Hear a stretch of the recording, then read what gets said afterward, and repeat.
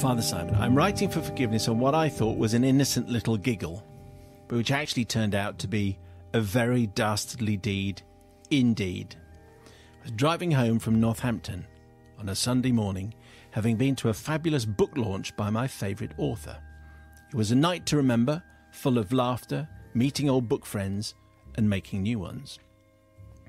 I was feeling a tad tired and had caffeine withdrawal, so I thought it sensible to take a break at a service station on the M6.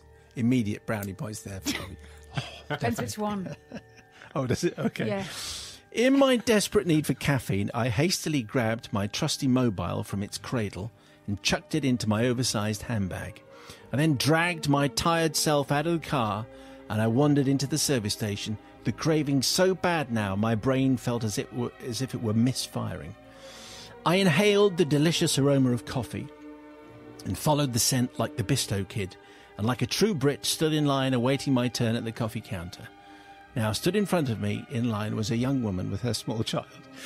I think he was a boy from the massive blonde curls the little darling had. I'd say his age was about four, tops. As his mother was placing her order, I looked down to the little boy and he was looking up at me with an incredibly shy expression on his face, which I smiled politely. Just then I heard an extremely posh but very muffled lady's voice saying, At the next roundabout, turn right, then go straight on. The little boy's eyes darted straight at me, then to my oversized handbag. He clearly had no idea that in my haste for a caffeine fix, I'd forgotten to turn off the satellite navigation app on my phone.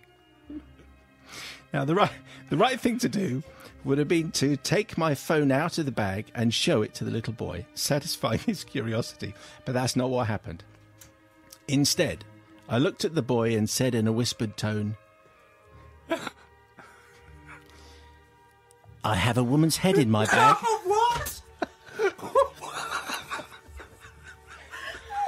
I must have sounded like the child catcher from Chitty Chitty Bang Bang as the little boy's face began to crumple.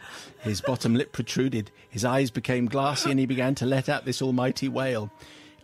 Realizing how catastrophically I'd misjudged this, I immediately Really? turned my head away from the situation and looked to the counter as if I'd done nothing wrong whatsoever. Her mother was on her knees trying to console her, his terrified little heart, and I could see from the corner of my eye that he was sobbing and he was pointing at me. Clearly, the little horror was trying to rat me out, but I kept my cool, maintaining a straight face and a look of complete lack of interest in the commotion beside me. As no one else witnessed this dastardly deed or heard me utter the line, I have a woman's head in my bag. Yeah. I, I ordered my coffee, found a quiet spot to sit, and began to titter to myself on getting away with it. On reflection, I feel shame for traumatizing the little darling, and am writing to your fa- writing to you, Father Simon, for forgiveness. I don't think Tracy's. I don't think Tracy has an iota of regret at all, if that's the unit of regret. Um, Tracy, thank you very much indeed. And it has it had it had a punchline in it. That's what I was looking for. And you can see how you can see that it could have been funny, but not if you're four. Sister Bobby, what well, do you say? Well, my big laughs are absolutely for shock. Because I think the incongruousness of the situation. Look, we're at a service station, and you have to weave as much magic into that as possibly can. So that I admire. I love that bit. I thought this is going to be brilliant. I was so surprised actually by your explanation of your talking bag, but also, no, you are not forgiven. That is not what you tell a small child. You can tell them anything. You can tell them you've got talking teddy, you've got talking bag. I'm not. I'm not saying that you can't have a lie. woman's head in my bag. Yeah. Having in said voice. that, there's a part of me that's also really impressed. But um, you are. It's the kind of thing. It obviously just came to Tracy. It was just an instant thing. It was just on the spur of the moment. She Yeah. thought it'd be absolutely fine, I said unforgotten. What I meant is unforgiven. completely unforgotten.